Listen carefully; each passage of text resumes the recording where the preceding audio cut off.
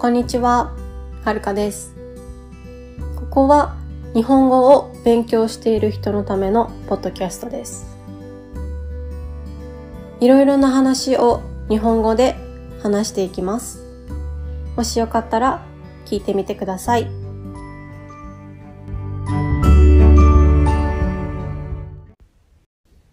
はい、皆さんこんにちは。お元気でしょうか？はい。えー、っとね、今は、あのー YouTube のね、編集をしていまして、なんか初めてね、YouTube の動画というものをね、撮ってみたんですよ。恥ずかしいんですけど、はい。で、なんかね、楽しくなっちゃって、すごいずーっとやってたんですけど、飽きたので、あの、ポッドキャストを今、撮ってます。はい。そう。なんかね、飽きちゃったね、もう。だから、これをやって、また、あの、YouTube に戻って、みたいな感じで、いい感じに仕事していきたいと思ってます。はい。で、今日は、えっ、と、リクエストで、あの、日本のファッションについてっていうリクエストを前にいただいてたんですね。はい。で、ちょっと日本のファッションについては、次のエピソードで ちょっと話します。今、いろいろ調べてて。はい。で今日は、私のファッションについて話しますね。うん。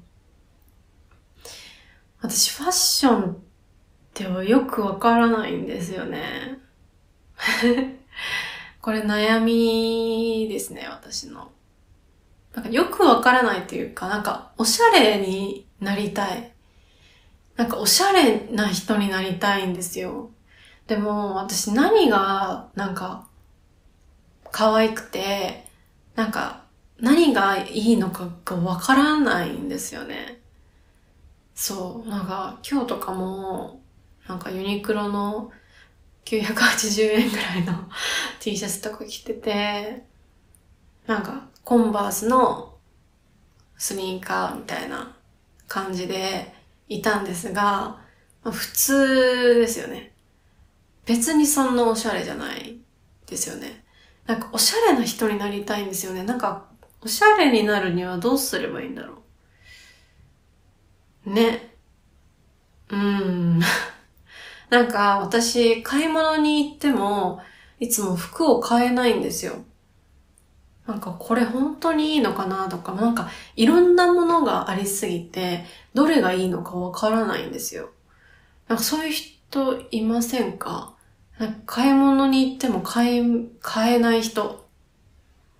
はい。なので私はいつもあの、オンラインで、なんかもうなんか1時間2時間ぐらいずーっと見て、で結局1個買うみたいな。本当になんか買えないんですよね。悩んじゃう。本当にいいのかなとか、これ私本当に似合うかなとか。うん。なんかおしゃれな人ってすごいなって思いますよね。はい。なんか私の友達とかでも、やっぱ、アパレル業界の人とかいるんですけど、みんなおしゃれでね、可愛くて、なんかキラキラしてる。私もキラキラしたいなって思います。はい。ね、なんか、ありません？そういう悩み？おしゃれとか服がわかんない。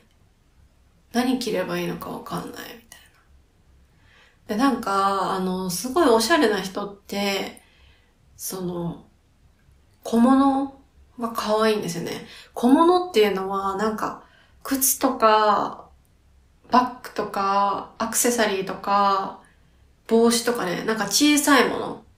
小物ですね。小物がね、おしゃれなんですよね。うん。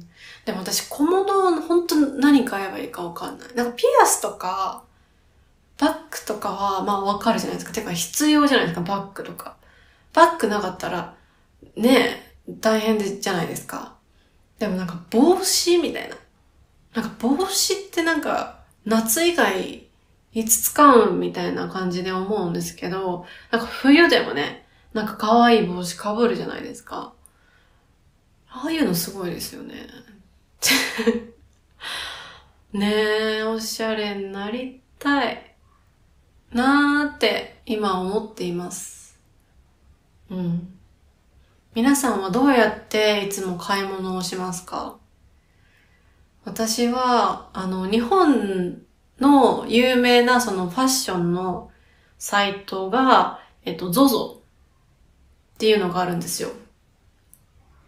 ZOZO、ZOZO タウン。まあ、あんまり使ってる人最近いないのかな？わかんないですけど、まあ、これがなんか有名ですね。洋服の、その、ウェブ、オンラインショッピングするところ。ZOZO タウンですね。私は結構あの、韓国の、あの、ファッションサイトをいくつか見たりしますね。可愛いし安いから。でもなんか、それもなんか全部可愛くて、なんか、全部いいって思う。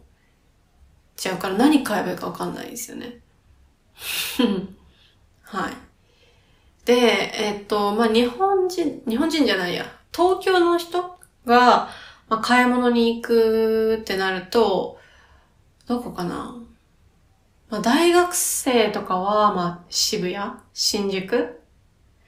で、ちょっと、あの、働き始めたりすると、うん、表参道とか、恵比寿、銀座とかになって、まあ、すごく大人になると、まあ、銀座、あ、まあ、銀座は結構何でもありますね。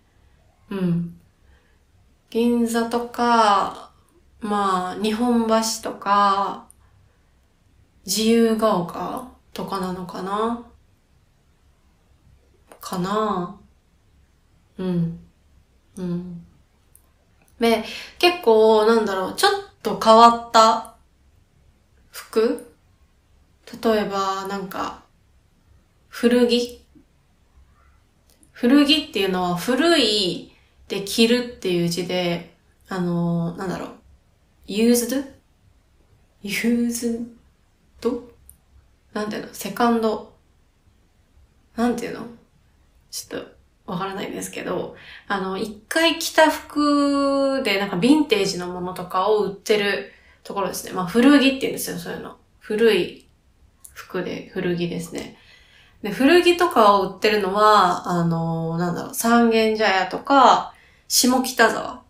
サブカルチャーの街ですね。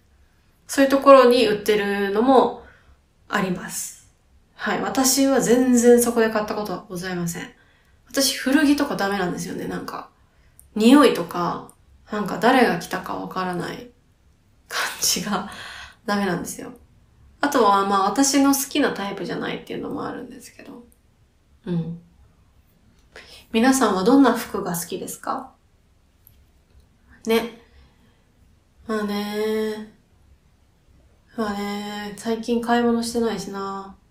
冬なので、冬服を買わないとですね。うん。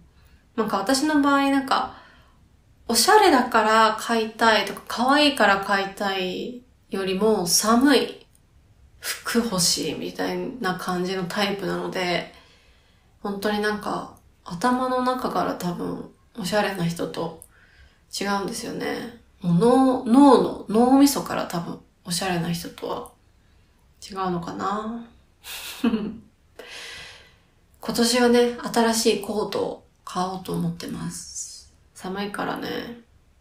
はい。なんか皆さんがよく使うおすすめのファッションサイトとか、なんかあれば、ぜひ教えてください。じゃあ今日はこんな感じで私のファッションの悩みでした。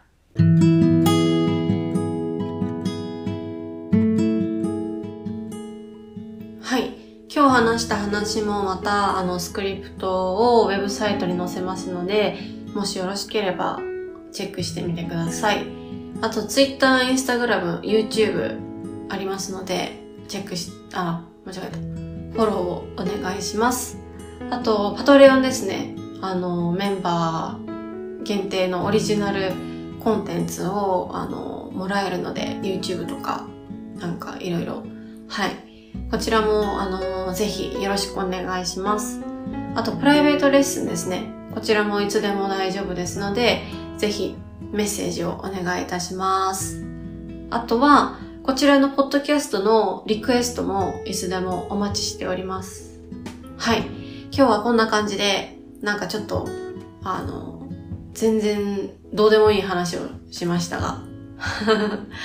はい。じゃあ、今日はこの辺で、さよなら。